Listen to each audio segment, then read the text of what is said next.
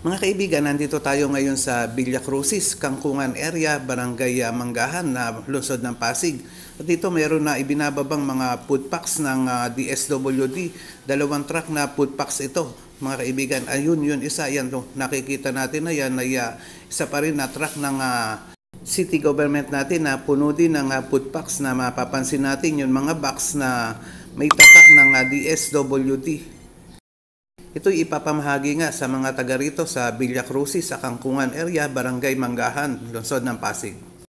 Ngayon ay May 17, 2021, Monday, alas 10.30 ng umaga.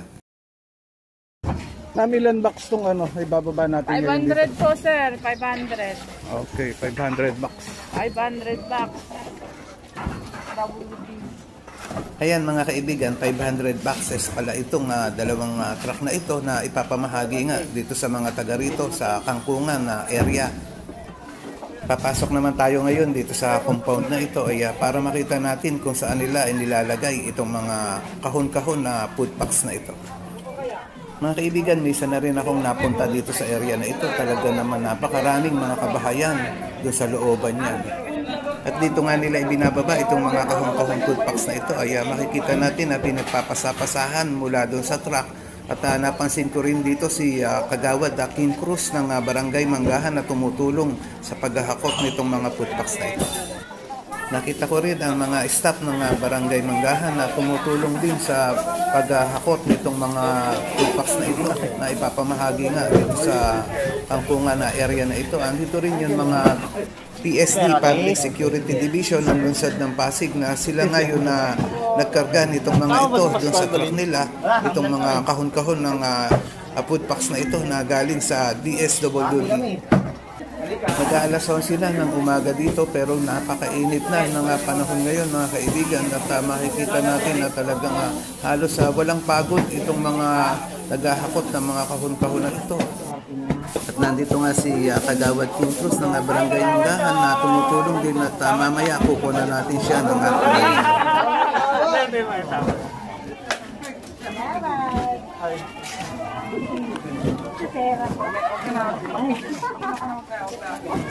At ito nga ang laman itong uh, food packs na ito na nandito nga sa kahon ng ah, DSWD na ipapamahagi dito ay ah, meron na mga dilata. Ito, ah, Lucky 7 na sardines. Meron din na tuna. At ah, yan, meron din na corn beef. At meron din na beer brand. Ito yung gatas. Meron din kape. Asan yung kape? Ito, kape.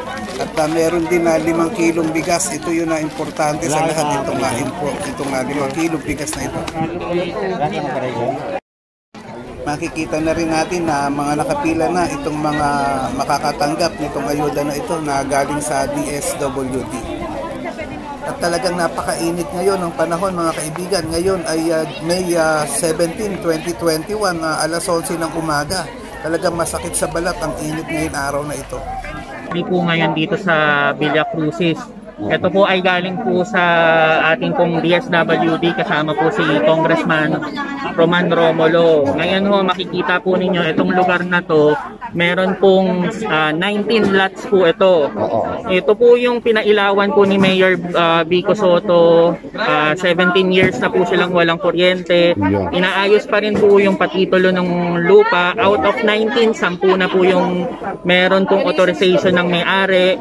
Ah, last last week po, pumunta po kami sa legal office dahil po meron po silang na-receive na eviction kung saan pinapaalis po yung mga tao. So pinakiusap po natin doon sa tulong po ni Mayor Vico pati ni Attorney Jolati na wag po munang paalisin yung mga tao kasi pandemya po ngayon. So ngayon ho, nagpapasalamat rin po tayo kay Congressman Roman Romulo kasi malaking bagay po itong mga food pack na to. Itong food pack na po na to ay um, hindi ho ganun kalaki pero at least makakatulong ho sa kanila sa pang-araw pang-araw-araw po nila. O, kung sikin, mga ilan ba ang populasyon sa kabuuan nitong Villa Crucis? Sa Villa? Crucis po dito ay pinataya po meron po kasi dito na almost ah, 680 almost 680 families. Families, Yun po oo. yung pumapaloob po doon sa 19 lots. 19 lots. Oo. Oo. And then itong 19 lots na to, ngayon meron kaming inaasikaso kasi out of 19 lots, meron ho ditong 4 na lots na subject for um, kinokontak na ho ng may-ari na kailangan na ho silang umalis. Oho. Eh ang proseso ho na to, hindi ho sila pwedeng paalisin ng basta-basta Yes, wala oo. pong court order. Yes, So oo. pinapakiusap po natin, dinadaan po natin sa diplomasya na wag po muna silang paalisin ngayong panahon po ng pandemya. Ayun. oo.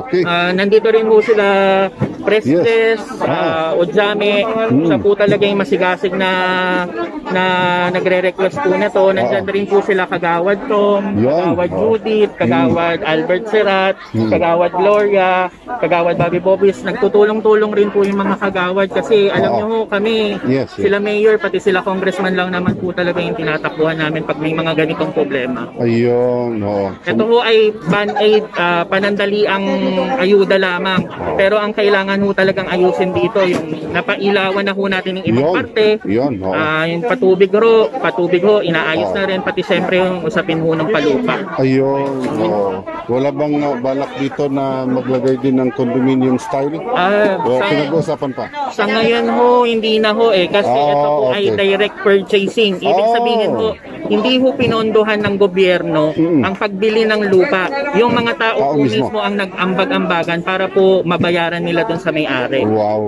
Ayos. Ayos. Okay. Panawagan po ninyo.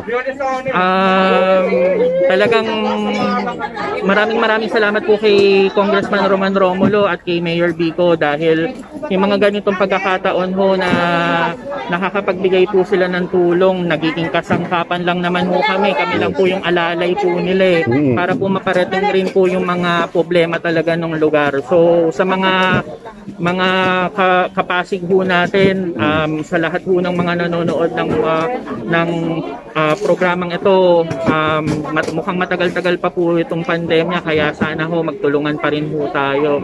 Meron hong mga pamamaraan ho para ma makapag-iwas po tayo doon sa sakit pero ito talaga marami pa rin hong nagugutom.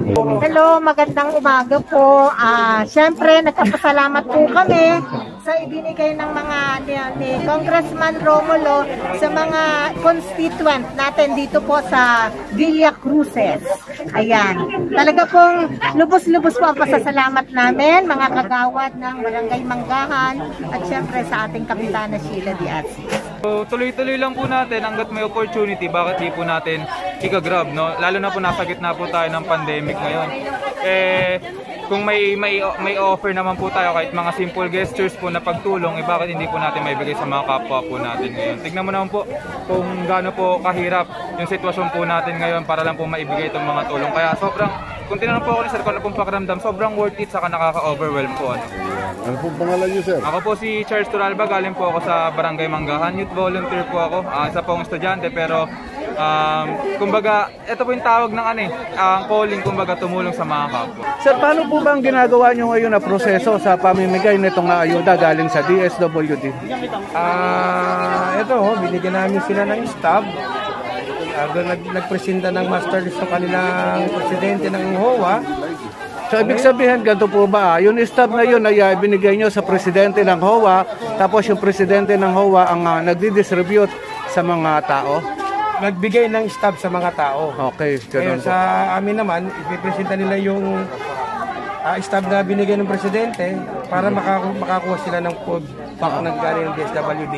Okay. Ah, napansin ko. Sila ni Congressman Roman Romulo. Okay, napansin ko po ay ah, d- yung dati ay ah, wala naman ID na hinahanap. Ba't po ah, ngayon ay meron na? Ah, for verification lang po kasi ito, iniiwasan natin na may pumila na hindi taga rito o makigulo o makiklaim na hindi naman siya kasali sa master list.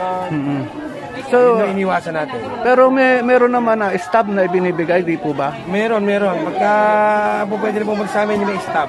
Mm-mm. Meron pong ah, nag, nagdodoble ng stub na experience Mm, nyo wala na po pa ba? kami na-encounter sa ngayon. Oh, yun. Ah, kaya may ID ngayon para lang ah, malaman nyo kung ah, talagang taga rito sa lugar na ito. Ah, hindi po. Ah, kaya po hinahanapan ng ID kasi para i-double check sa master list namin kung sila nga yung beneficiary. Okay. Ah, so ito yung mga listahan na mga talagang ah, makakakuha nitong ah, ayuda na ito. Ano pa ka? Okay po, thank you. Ma'am, mga, mga ilan na beneficiary ang makakakuha ngayon dito? 500 po, sir. 500 beneficiary. Pangalan po sa GK. Sa GK po kayo. Natutuwa po kung magkaroon po tayo ng puta kasi kami kami wala mga trabaho ng asawa namin pati anak ng dalaga. Kaya natutuwa po ako na nagkaroon kami ng ganitong sistema na pamimigay ng mga Best WD. Thank you, maraming maraming salamat po. Okay po, thank you po. Ano masasabi nyo ngayon sa nagkaroon ng ah, bigayan ng ah, food packs dito mula sa DSWD? Nagpapasalamat po kami at nabigyan kami ng ganitong tulong. Ah, meron po ba kayong ah, ibang ah, pinagkakakitaan sa ngayon? Wala po eh.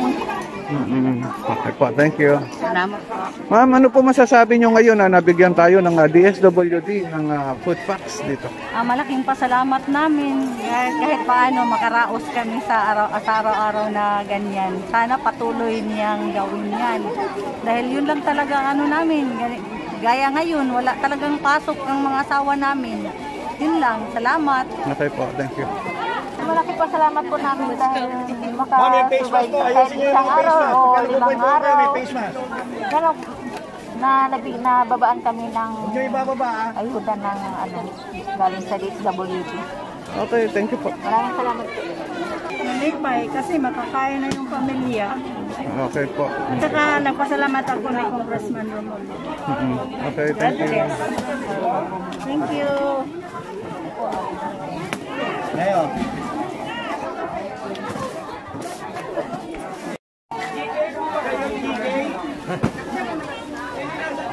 Tay, ano po masasabi nyo ngayon? Nabigyan tayo ng tulong dito. Salamat po kay Congressman Romulo.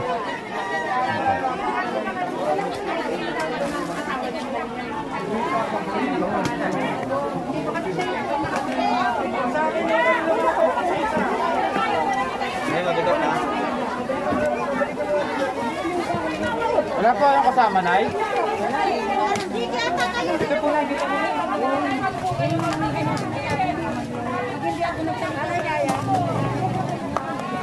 Kaya? Kaya ba? Kaya.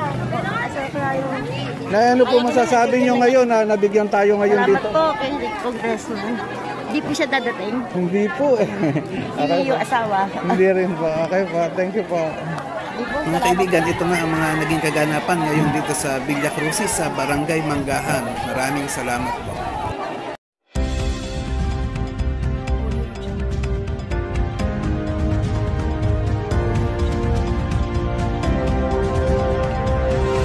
Pasig News Update.